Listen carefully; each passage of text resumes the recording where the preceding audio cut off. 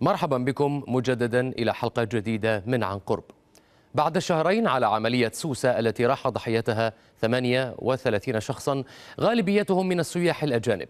كشفت التقارير الدولية أن أعداد الشباب التونسيين الذين التحقوا بالجماعات المتشددة تخطى الخمسة آلاف من مختلف المناطق والطبقات الاجتماعية.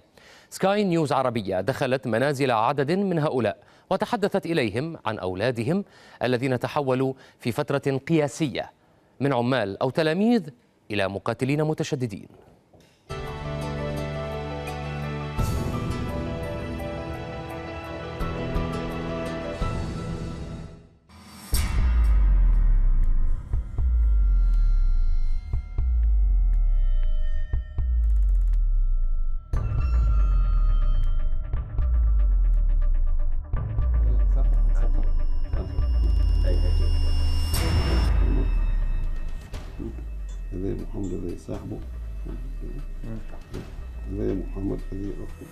ولد التونسي محمد بالقاسم بن حسين عام 83 في منزل متواضع بمحافظة القيروان.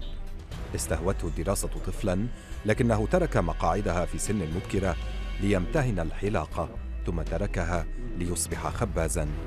كان محمد التونسي الشاب يقضي أوقات فراغه بالرسم والنقش على الكؤوس يزينها ويصبغها بالألوان. قبل ما يعمل المدة معنا العملية الفدائية ذي فهمتني؟ كلمنا. نهار الجمعة مقابلني كي تو رحت من الجمعة قاعد على البنك وهو ولاد قاعدين الماكينة والتليفون ضرب. هز خوه التليفون نلقاه قال له شكون في الدار؟ قال له هون الكل موجودين. قال له عدي لي أنا حكى معاه ومن بعد قال له عدي لي الأولاد الأخرين. له الأولاد ومن بعد له أمه. أنا آخر واحد. قال له نقول لك حاجة. قال لي راه صعيب وأطلب منك أنك تسامحني. فهمتني توا. هذا اللي نطلبه منك وإن شاء الله نتقابلوا في الجنة. هذا آخر ما قال وعلى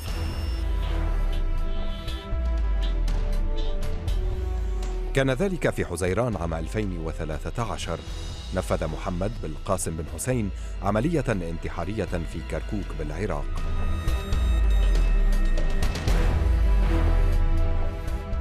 قبل سنة طلب محمد من والده أن يستصدر له جواز سفر وغادر إلى ليبيا مدعيا أنه ذهب للبحث عن عمل هناك. لكنه انتقل منها إلى سوريا للقتال في صفوف المتشددين وبقي فيها ستة أشهر قبل أن ينهي حياته في العراق. قال لي بابا نقول لك حاجة راني مشيت للعراق وسوريا راهي معناها أمورها معناها مش الكلام اللي سمعته في تونس موجود في سوريا. راي الكلام اللي نسمع فيه الكل وراه مش صحيح. أنا جيت أنا كان لسوريا على أساس ما جيت للجهاد. نلقى جماعة كلها مسلمين والكلها معناها ناس معناها عرب معناها قاعدين يتقاتلوا على الكراسي. حاولت والدة محمد أن تقنعه مرارا بالعدول عن هذا الطريق لكنه أصر على رحلة الموت على الرغم من دموعها وصمتها المدوي. وكان احتفال السلفيين الجهاديين في القيروان بمقتل محمد دليلا قاطعا بالنسبة لوالده على تورطهم في استقطابه. تلموا هنا قدام الدار يمكن يجي 500 واحد. هاي تلموا يمكن مش نكون خوضها بالعياط. والله أكبر. ومثواها الجنة. وهذاك مفتاح الجنة. ما روح حرام عليكم والله يا حرام عليكم قاعدين معناها ضروا في العائلات. وقاعدين تعبوا في العائلات. وتقول له معناها تغسلوا في مخاخم وتبعثوا فيهم وتقول له معناها امشي يا أخويا راي الجنة تستنى فيك في سوريا. أنت كي تعرف الجنة تستنى فيك في سوريا واحد أنت تلقى الجنة وتسلم فيها تعطيها لغيرك؟ أنت عندك مفتاح الجنة باش تدخل اللي تحب وتخرج اللي تحب من الجنة؟ يا الناس خافوا ربي واتقوا الله لم تنتهي قصة العائلة هنا. حاول أحد المتشددين تجنيد صهيب صغير العائلة. وكادت والدة محمد أن تبكي ابنا ثانيا. لكن صهيب بن حسين أراد فقط مساعدة عائلته في شراء ضحية العيد فكاد أن يكون هو الضحية. كان يصير. أنا مشيت ساعة من الأول معايا. أنا كنت نخدم هنا ساعة وزادت فترة تاع بطالة قعدت بطال. فهمتني وقت عيد باش يعني فما عيد جاي أنا فهمتني رمضان. الظروف مش عارف أنا في الدار على قدها فهمتني؟ لا غالب مش متوفر حق العلوش وهذه على علوش أنا فهمتني؟ مشكلة العلوش آه جاني واحد ما نعرفه مع فهمتني؟ قال لي راي حب يخدم في الجبس هو غادي. وقال لي معناها باش تمشي مع آه، معناها ليبيا فيها فلوس وكذا خير من هنا فهمتني؟ في الخدمة وكذا. قال لي معناها تحب تمشي معايا معناها. يعني ما ما عنديش باسبور فهمتني؟ قلت له توا حاليا ما نجمش فهمتني ما عنديش باسبور كذا. قال لي نجم نخرج معناها نخرجوا فيها. ندخلوا مع حارقين كا مشيت معاه تبعته يعني. ما قلت لحد سعر الدار اني باش نمشي كذا. مشيت معاه وقعدت في ليبيا غادي. في بالي معناها حكاية خدمة صحيحة قال لي عليها هو فهمتني. يا أخي طلعت حكاية أخرى. اكتشف صهيب أن الذي ساعده للخروج عبر الحدود من أجل تأمين المال لشراء كبش العيد استدرجه إلى مخيم لأنصار الخلافة في ليبيا وأن الوعود بالعمل وبالمال الوفير ما هي إلا غطاء لتجنيد الشباب وإرسالهم إلى سوريا. خاصة الصغار في العمر فهمت 16 17 18 العمر هذاك حاولوا رجعوا معك أكثر من مرة ولا خلاص؟ كيفاه؟ رجعوا حاولوا يقنعوك مرة لا لا لا لا. هذيك هي المرة اللي صارت له هذيك الغلطة. الحمد لله واحد ربي روح. خلال سنتين كانت أصغر دول المغرب العربي تعيش أكبر نزيف بشري. تحولت البلاد إلى خزان لتصدير المقاتلين إلى ساحات الموت. وتذكر العالم بعد هجومي باردو وسوسة أن الذين عبروا الحدود للالتحاق بصفوف المقاتلين المتشددين في كل من سوريا وليبيا والعراق ومالي يعدون بالآلاف we decided to examine the phenomenon of foreign fighters. في العاشر من يوليو الماضي أصدر خبراء في الأمم المتحدة تقريرا قدر عدد التونسيين الذين التحقوا بتنظيمات متشددة وبخاصة في ليبيا وسوريا والعراق بأكثر من خمسة ألاف وخمسمائة شاب وشابة ووجه المجتمع الدولي دعوة إلى تونس لمنع التحاق المزيد من مواطنيها بهذه التنظيمات. نحن نقول ونتفهم موقف كل الدول لموقفها من من الوضع الأمني في تونس. نتفهم هذا الموقف خصوصا بعد العملية التي حصلت في تونس. لكن لكن في الحقيقة الجهاز الأمني التونسي يتعافى شيئا فشيئا ويوما بعد يوم. يعني محاربه الإرهاب هي عملية متواصلة وعلى الجميع أن يعلم أن موقف الأمن التونسي والجيش التونسي والدولة التونسية واضح. لن يكون للإرهاب أي مستقبل في تونس. بل بالعكس المستقبل في تونس هو الديمقراطية والحرية وليعلم كل من يغادر تونس أو يرحل عنها أنه يرحل عن الديمقراطية والحرية ولا يرحل عن أي شيء آخر. كان واضحا أن المعركة طويلة وصعبة وعلى الرغم من الإجراءات الأمنية المشددة وقرار الحكومة التونسية بناء جدار على الحدود بين ليبيا وتونس استمرت صور المقاتلين التونسيين في ملء صفحات الإنترنت ومواقع التواصل الاجتماعي.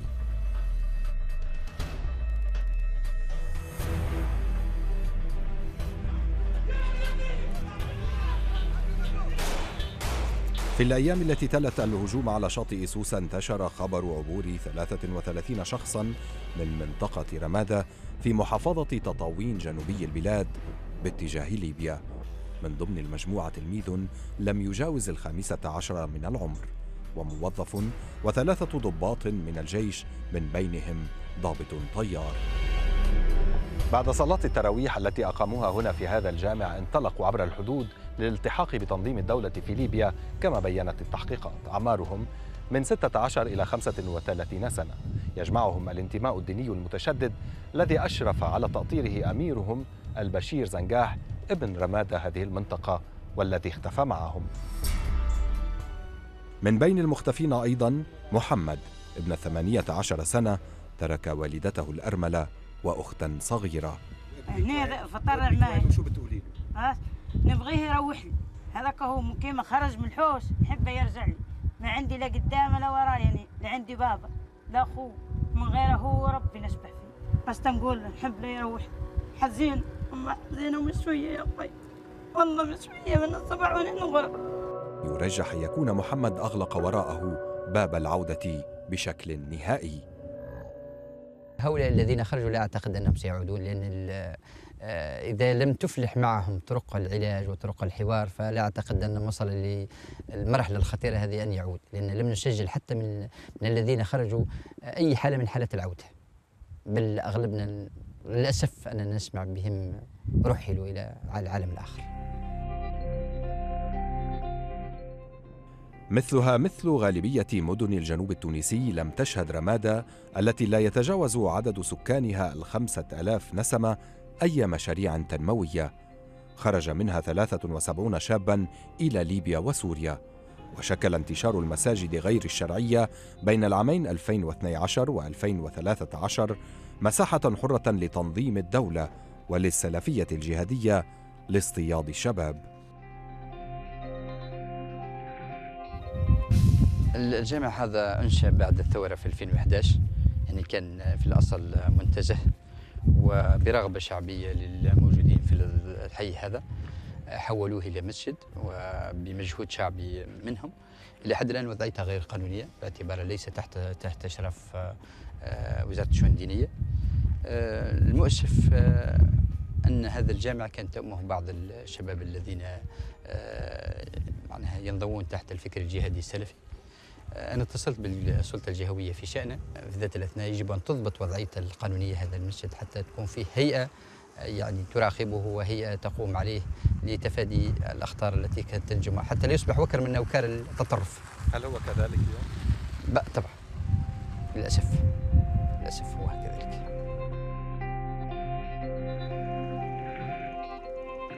في بعض المساجد كانوا يستقبلون ويلقنون ويساهمون في إرسال المقاتلين إلى ليبيا وسوريا والعراق ومالي. أحصت وزارة الأوقاف والشؤون الدينية التونسية 385 مسجدا غير شرعي. تحول بعضها إلى أوكار للمتشددين. وشرعت تباعا بإغلاقها أو مطالبة بعضها بتسوية أوضاعه. الإجراء اللي تمثل في غلق ال 80 مسجد من المساجد التي تم بنائها بعد الثورة ثورة آه، يناير آه، 2011 اللي تم بنائها بطريقة عشوائية غير مرخصة آه، لا تعلم الدولة عنها شيئا من حيث على الجانب العقاري جانب البناية والتي تم استغلال عدد منها من طرف آه، جماعات تكفيرية وجماعات يعني آه، تحمل فكر غريب عن المجتمع غريب عن الإسلام أيضا الإسلام الحق الإسلام الاعتدال الإسلام الوسطية الإسلام الت- التسامح إسلام ال- ال- ال- ال- ال- الحياة. من الصعب قياس تأثير وانعكاس هذا النزيف البشري الذي أصاب تونس على المجتمع. ومن السابق لأوانه معرفة مستقبل هؤلاء المقاتلين الذين دفعهم التشدد أو اليأس ليقاتلوا تحت شعارات دينية في دول الشرق الأوسط وإفريقيا غير أن النتيجة الحتمية لمغامراتهم كانت كسر قلوب عائلاتهم ومواجهة مصير مأساوي والذهاب في رحلة من دون عودة.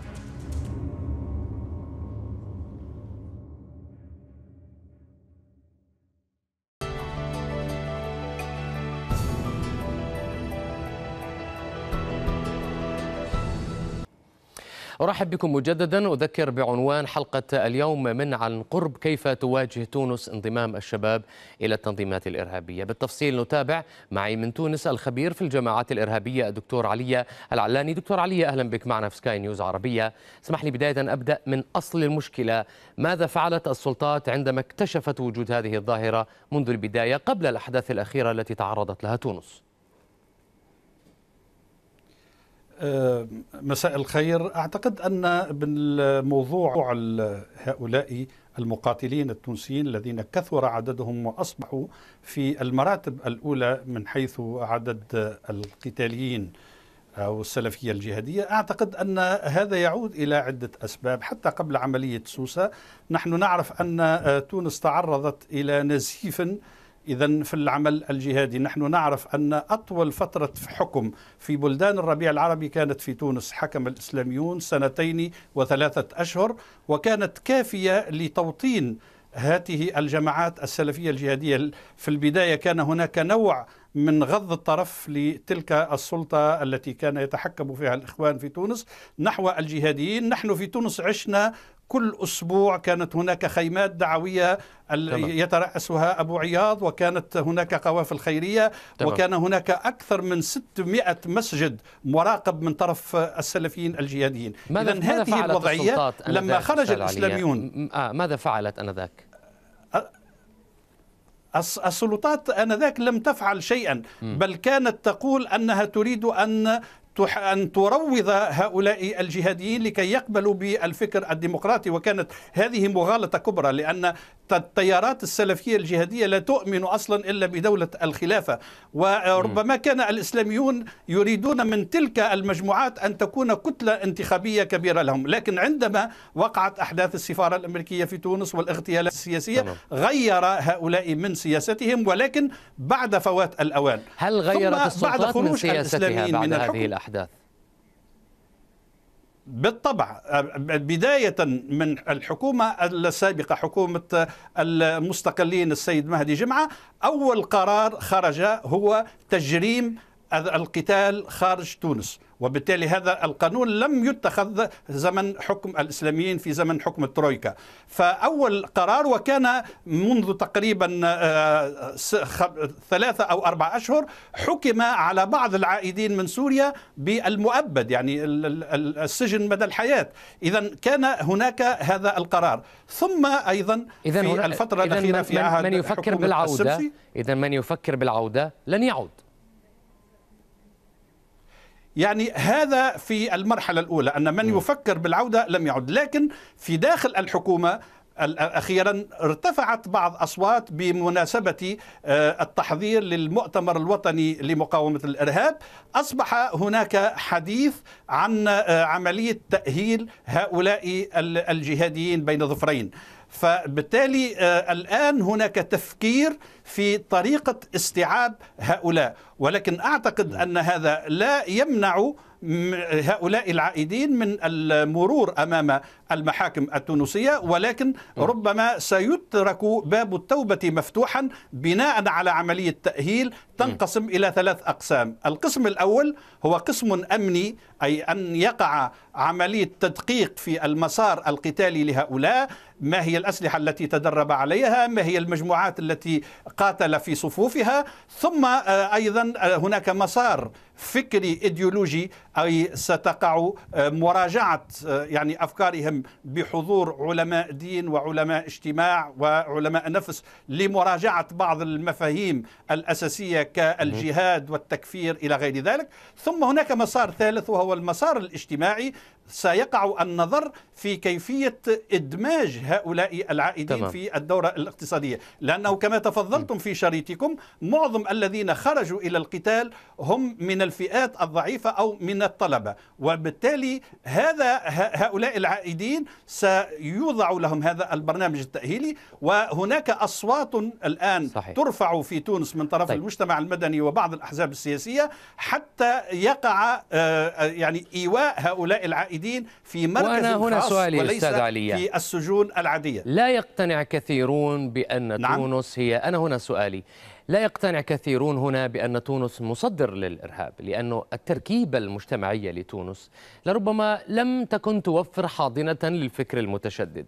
كيف نفسر هذا في ظل التقارير الصادرة؟ وما ذكرناه أيضا في التقرير وما تفضلت به بأنها بالفعل أص- أصبحت الآن مصدرا كبيرا لها أستاذ علي. يعني دعني آه، أشرح لك على الأقل. باختصار آه، إذا سمحت. يعني بعض عناصر تؤكد أن تونس ليست حاضنة للإرهاب. في الفترة الأخيرة لماذا كثرت بعض العمليات الإرهابية؟ لأن الإرهابيين بدأوا يفقدون تلك الحاضنة. في فترة حكومة الترويكا كان هناك رحلة ذهاب جيئة وذهابا بين سكان ويعني ال- الذين لم تكن السلطة تراقبهم وبين إرهابي الجبل أو في المناطق الصحراوية. هذه الحاضنة الآن نقصت لعدة أسباب لأن قانون الإرهاب الذي صدر أخيرا يشدد العقوبة على كل من يقدم عونا للإرهابيين أولا وثانيا لأن التونسيين اقتنعوا أن هذه العمليات الإرهابية هي أضرت وستضر بمصالحهم إذا استمروا وبالتالي ماذا حصل في العمليتين الأخيرتين في سوسة وبعد بعد سوسة وباردو هو أن بعد هاتين هاتين العمليتين السلطة أجهضت. أكثر من 12 عملية بمجرد إبلاغ السكان عن مشاريع عملية إرهابية أي أن السكان تمام. بدأوا يتعاملون مع السلطة الرسمية في هذا على الصعيد الداخلي الإرهاب. أستاذ علي ولكن على الصعيد الخارج. الخارجي أيضا أي. أنا هذا على سؤالي على الصعيد الخارجي على الصعيد هل الخارجي- هل هناك موقف واضح الآن من الحل في ليبيا يعني يذهب إلى أبعد من أن يكون بناء ساتر ترابي وخندق لربما مراقبة الحدود فقط على الصعيد الخارجي هناك عناصر لا تتحكم فيها تونس. يعني العناصر الإقليمية خاصة فيما يخص الحوار الوطني آه، بين الليبيين. تونس في كم من مرة احتضنت اجتماعات للفصائل الليبية ولا تزال إلى اليوم تحتضن ثم أيضا هذا الجدار الترابي من شأنه أن يقلل كما يقول الخبراء الأمنيون. أن يقلل من 70% من عمليات التسرب وخروج الإرهابيين أو دخول طيب. الأسلحة إلى غير ذلك ولكن بطبيعة الحال الوضع الإقليمي يبقى هو الجرح النازف بالنسبة ل... بالنسبة إلى تمام. تونس وأعتقد أعتقد أن هناك مساعي في بقدر ما تتقدم العملية السياسية تمام. في ليبيا. بقدر ما تمام. يخف تمام الضغط في أقل في أقل من دقيقه في نصف في. نصف دقيقة هذا السؤال لأني يعني لربما أحد المشاركين على تويتر طرحه كم هو صعب الآن التمييز بين محاربة الإرهاب والجماعات المتشددة ومحاربة الدين لا أفترض وجود محاربة للدين ولكن إغلاق المساجد أيضا وصف بأنه محاربة للدين في نصف دقيقة أستاذ عليا يعني لا أعتقد أن هناك محاربة للدين لأن المساجد التي أغلقت تقريبا ثلثها تم فتحه بعد أن تم تسوية وضعيته. لأن تلك المساجد لم تكن خاضعة للسلطات الرسمية.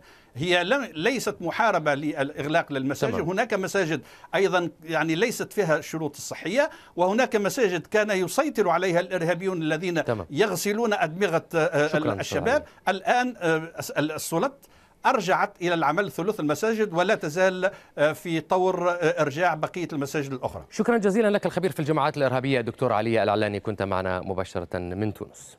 بإمكانكم مشاهدينا متابعة هذه الحلقة وإعادة بثها بكل تأكيد على جدول إعادة بث البرامج على سكاي نيوز عربية وموقع سكاي نيوز عربية وبكل تأكيد بإمكانكم إيجادها على تويتر وعلى صفحة سكاي نيوز عربية الخاصة بنا على فيسبوك. أيضا إلى اللقاء.